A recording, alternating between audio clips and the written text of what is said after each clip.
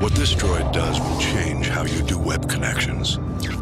This creates a mobile 3G hotspot powerful enough to fuel multiple devices at will, putting you at the center of your own World Wide Web.